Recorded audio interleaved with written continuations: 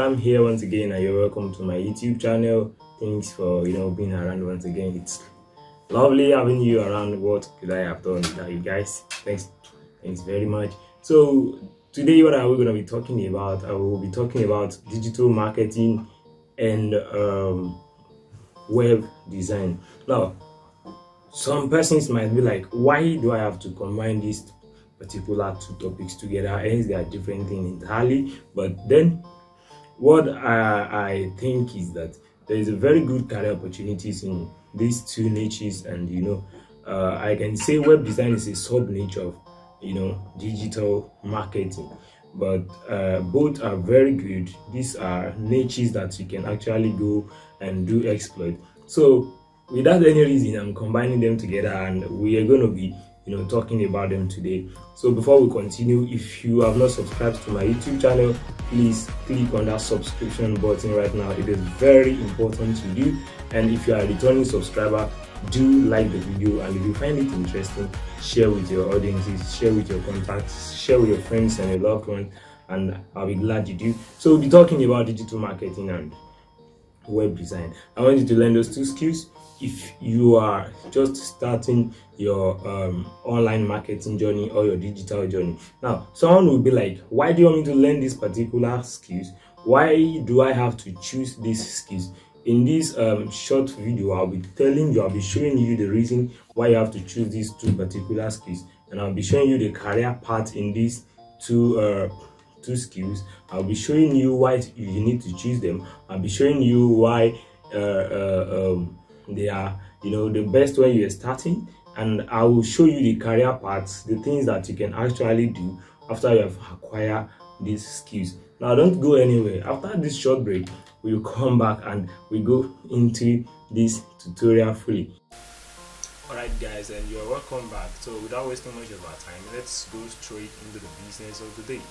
So uh, we're going to be talking about learning digital marketing and web design as i have said earlier we're going to be having just three main subtopics under this topic which is why right? That is why do you have to choose this uh, career? Why do you have to choose these skills? And then career opportunities in these skills and how to start these skills. I won't want to bug you with much words so uh, without further ado let's go straight into the business. Now the first uh, the second slide you will see is what is digital marketing. That's the first thing you should ask yourself what is digital marketing you're, you're trying to get into something when you're trying to get into something i think what should should learn first is okay what is this particular thing i'm trying to get into? So digital marketing is the component of marketing that uses the internet and online based digital technologies such as desktop computers you know mobile phones and other digital media and platforms to promote products and services. Its development during the 1990s and uh, you know 2000s changed the way brands and businesses use technology for marketing. So that is digital mar digital marketing. You know this is a very long and you know worthy um, definition but it's just uh, it is a, a, type of marketing that uses the internet and online based digital technologies uh, you know to facilitate its marketing. You know you use mobile phones we uh, digital platforms you use social media and other you know gadgets you use the internet you use so many of all those things to learn uh, to, to facilitate your digital marketing.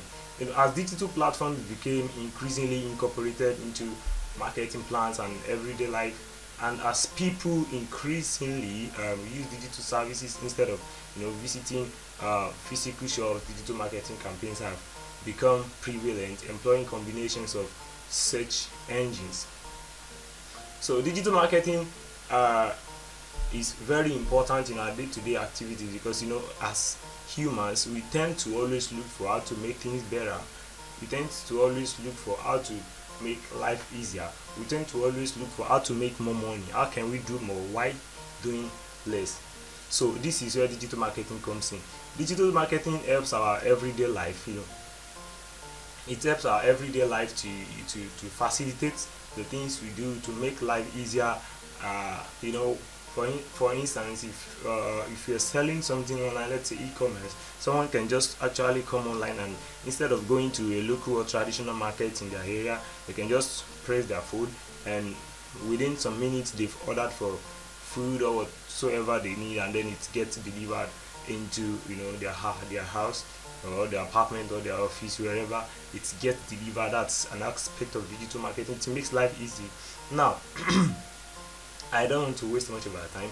Now you can see the image uh, on the screen right now. Uh, branding is excuse me. So you can see the digital marketing at the center of everything. We have branding we have advertising we have the internet we have the social media we have the content you know product market analysis target and so on and so forth these are under digital marketing. Now a digital marketer must be able to must possess some skills. Before you can call yourself a digital marketer you must possess some skills. Now who is a digital marketer? If digital marketing is a component of marketing that uses internet and online based digital technology uh, and the computer to do its stuff then a digital marketer is someone who uses um, internet and online based digital technologies for his marketing. For their marketing it is what it is. So without wasting much of our time as i was saying earlier before you can call yourself a digital marketer there are some things you should be able to do. Before you can call yourself a digital marketer there are some skills you must possess. You don't just call yourself a digital marketer. You don't know how to run ad. You don't know how to you don't, you don't know how to uh, uh, target audience you don't know how to um, you don't know how to use the social media you don't know how to use the internet you don't know how to brand you don't know how to conduct market analysis and you don't even know how to sell online then you are definitely not a digital marketer. A digital marketer must possess some of these things. Before you can call yourself a digital marketer these skills you must possess. That is why digital marketer is at the center of all of this all of this. Okay going forward now okay this is continuation. So uh, uh, a digital platform became as digital platform became increasingly incorporated into marketing plans and everyday life and as people increasingly use uh, digital devices instead of visiting physical shops you know digital marketing campaigns have become prevalent combinations of search engine optimization that is SEO search engine uh, marketing and content marketing influencer marketing content automation campaign marketing data driven marketing e-commerce marketing social media marketing social media optimization email direct marketing you know display advertising ebooks and so on and so forth are all under digital marketing. You must know how to market. Now the the the, the normal the traditional way of marketing is you know the offline way of marketing where you go and meet people you know you you table your idea to them you propose to them and you know if they think what you're saying resonates with them and they can actually actually buy into your idea then they buy your product or they buy your service. But in digital marketing you can facilitate everything online. In fact you don't need to know who is buying from you but someone who, who, who is buying from you must know you you know, and not actually in uh, all instances because we have what we call uh, call a faceless brands and faceless marketing. Now it's a it's a brand of marketing in which you don't actually need to show your face. There are many brands online that are thriving, and you don't actually know the face behind it. You don't actually know the person behind them. You just know that these brands are doing well. Then we have other brands where we have people. We know the founder and we know the manager or whoever that are operating them so digital marketing extends to non-internet channels that provide digital media such as you know television, mobile phones, SMS and MMS, callback and on hold mobile ringtone. So the extension to non-channels differentiates digital marketing from online advertising. Now the extension to non-internet channels differentiates uh, uh, digital marketing and online advertising. This is one of the difference between a digital marketer and an online advertiser. If you're advertising online, you're, you're necessarily not a digital marketer. A digital marketer uh, partly leaves the online channel, leaves the internet channel, and you know takes it offline. But they are not actually going offline like opening a physical shop. It is not necessary as a as a digital marketer. So what are we saying an online advertiser strictly advertise online. But the digital marketer will use sms and mms and you know some offline stuff to facilitate their marketing. So we talked about search engine optimization uh, search engine marketing content marketing influence marketing and content automation campaign marketing data so these are the things i told you earlier. I had talked about this earlier that there are some things that if you do not process them you are not worthy of calling yourself a digital marketer. So if you don't know, know uh, uh, some or any of these do not even bother to call yourself a uh, you know a digital marketer because you're actually making a joke of yourself. You're not a digital marketer. As a digital marketer you must possess some of these skills before you can be qualified. Now web design what is web design? Web design is what creates the overall look and feel when you're using a website. It's the process of planning and building the elements of your website from structure and layout to color images and graphics. You know web design has numerous components that work together to create finished experience of a website including graphics design you know user experience design interface and so on and so forth. Seo is also part content creation. These elements determine how a website looks feels uh, and works on various devices. Check out this in-depth guide on building a website if you want to learn more about the whole process. So if you want to learn how to build a website I you will see the link in the description below. That that's uh, a three-day um, program I did sometimes earlier. So web design is different from web development which is actual coding. You know the actual coding that makes a website work when you're building a website you need both the web design and web development although you can find web designers who are also web and ux developers. These are distinct skill sets. So they are very different. We're not talking about web developers or ux you know designer here. We're talking about web design. Now good web design isn't subjective. Listen very carefully to this. Good web design isn't subjective. With other types of design like illustration or sticker design a lot of what constitutes good is up to the viewer's taste. That is what makes your website good or bad is the viewer's taste. Their ability to go to your website and find what they need is what makes your website a good one you know. I'm a web designer so i know what i'm talking about here. Uh, so with web design the line between good and not good is much more defined a well designed website is a website that perfectly creates the experience your visitor is looking for so if it is not creating the experience your visitor is looking for i'm sorry it is not a good web design at least for your visitor. So good web design is subjective. I've said this earlier you know. Web design that works is web design that converts in where we speak. When we say convert it means getting the user to take a specific action and you know when user follows through with an action on your website is set then uh, take up them uh, to take your website made a conversion conversion can be anything like sign up or for a newsletter making a purchase opening an account accessing content on the website effective design brings a few different elements together to promote conversions. So i'm just trying to you know in this slide i'm trying to let you know uh, what constitutes a good web design is you know the ability to put up the elements uh, the images the structure of you know uh, that will satisfy the uh, your visitor not actually to your own taste but the taste of your visitor. When we say a website is good it is uh, the experience of the user that will determine if your website is good. You might build the best website in the world but if your visitor or maybe let's say your potential client visits that website and they can't actually find what they are looking for to them it is not good because the purpose of visiting the website is not fulfilled. The purpose of building a website is not just to just make it look fine or beautiful or all shade of beauty and then at the end of the day you can't generate sales clients don't find anything there you know users can't find anything there. You're the only one enjoying your website it's a pity. That is not a good website. A good website must must satisfy you and also most importantly your clients your visitors your potential customers must be satisfied not just you. That is uh, that is where your market research comes in. Now what do you think your visitors will look for what do you think your potential clients needs? What do you, th- do you think your target audience wants? It's up to you to do your market analysis to do your market research and get uh, you know answer these questions.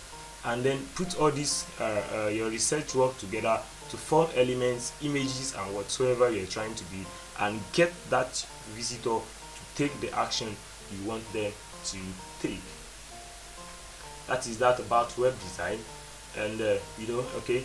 So the elements what are the components that you know that contribute to a good website that will make your website to actually do the work that you want them to do compelling use of negative space. Now presented choices for the user. The fewer choices the user has the less likely they are to become overwhelmed and confused i will read that again.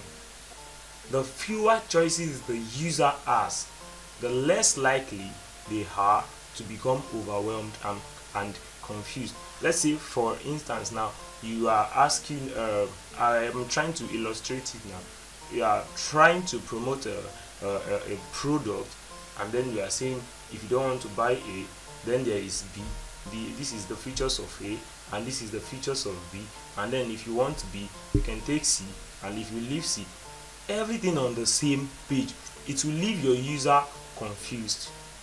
Your website after being well structured the product and the services you are trying to render must be well and neatly structured such that it will be very easy for your user to navigate and then make their choice and you know take the action you want them to take. And then they leave the website okay you can now create upsell or maybe downsell that's a different thing. It takes them to a different page entirely. But when when you stack a page with so many stuffs it leaves your user confused and they don't even know what to do.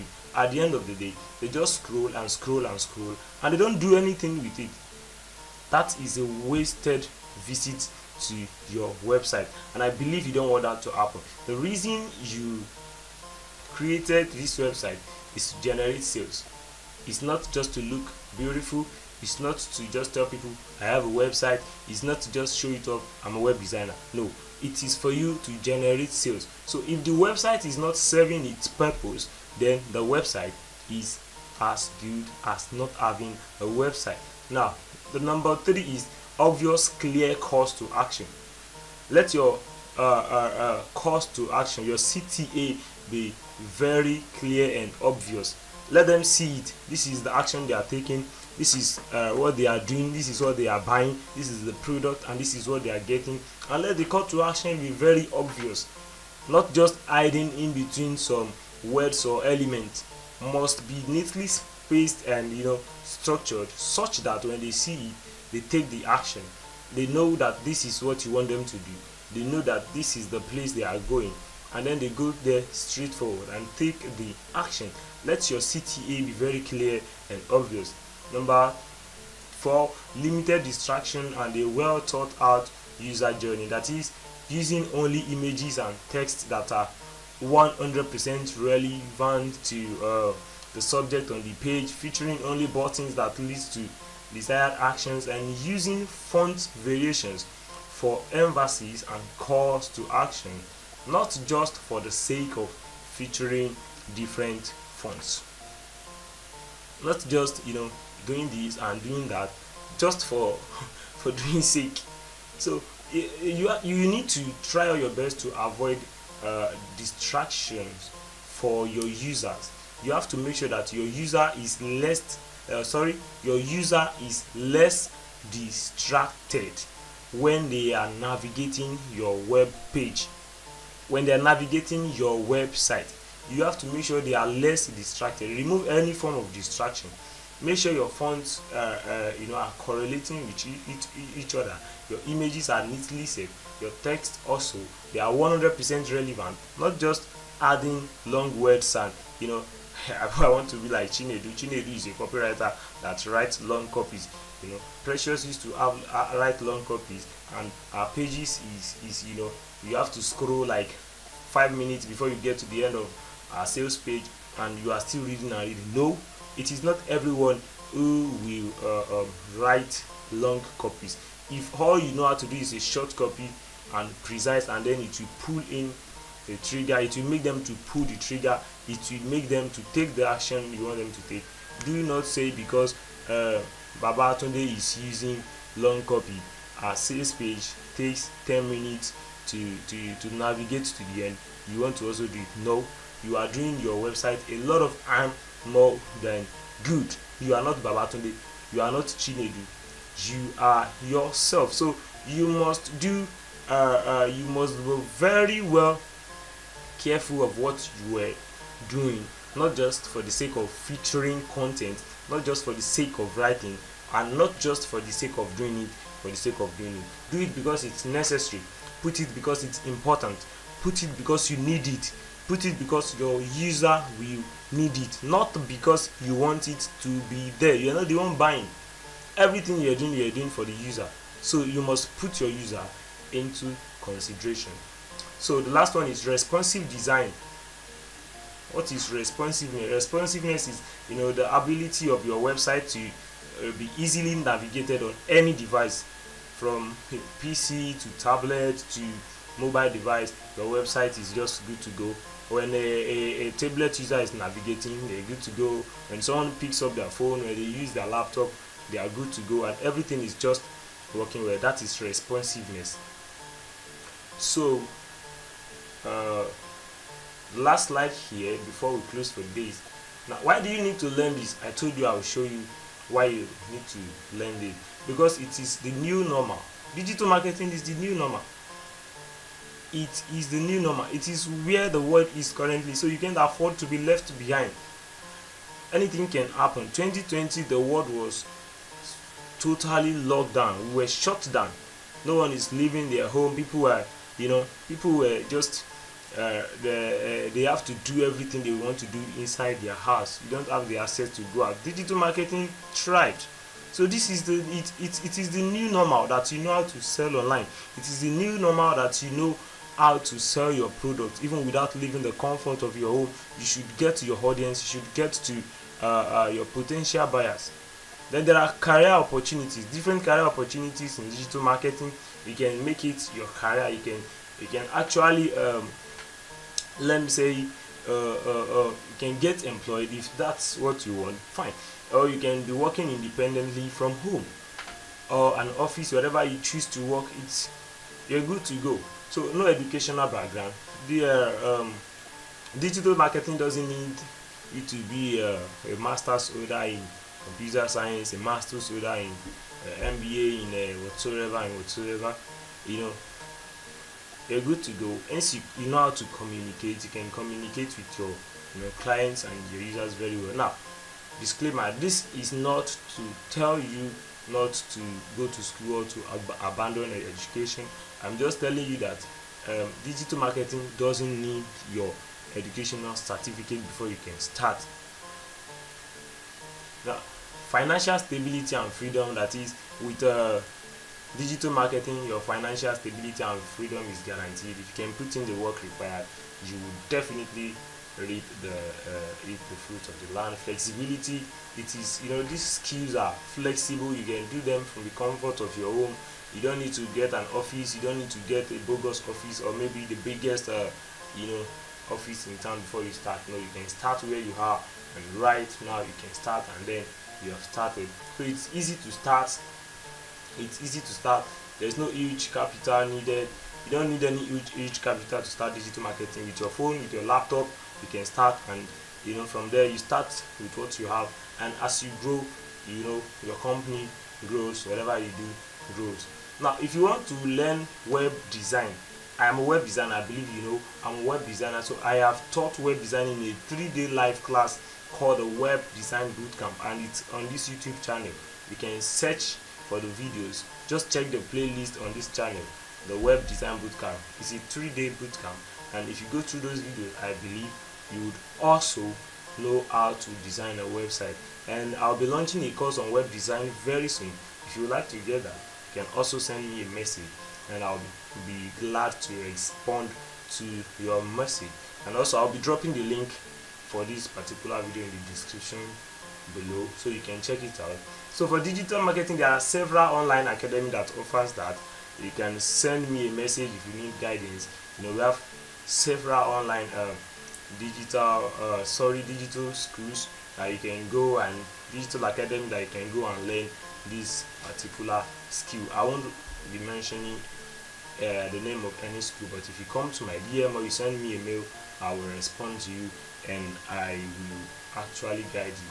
I'll give you whatever uh, uh, you think you may need to get started. So for career opportunities i've told you earlier if you want to be working independently or you want to get employed the career opportunity is there for you. It's left to you. What do you want to do with your skill after you must have acquired that skill? So and that will be that on learning uh, uh, digital marketing and web design for today. I want to thank you for being a part of this program. I hope you've learned something learned one thing or the other. If there's anything you don't understand do not hesitate to um, send me a message or don't worry just drop a comment under this video and i'll be glad to respond to it. Please if it is about this video just drop a comment under this video i'll be responding to all comments that will need answer under this video. And thank you very much for watching. If you are a new uh, if you are a visitor here this is your first time please do well to subscribe. If you are a returning uh, person and you have not subscribed please subscribe. I am begging you subscribe. So and also please if you find this video interesting click on that like button it is very important to help the youtube algorithm so that they will know that this video is good for others and then they will recommend it to them. Also you can recommend these videos and share with your tribe share with your friends uh, share with your loved ones and i'll be glad you do that. You know it encourages us to put more content out there. After all we're doing this for free. This is you know the least you can do at least to appreciate what we do here. So thank you very much. I'll see you in the next video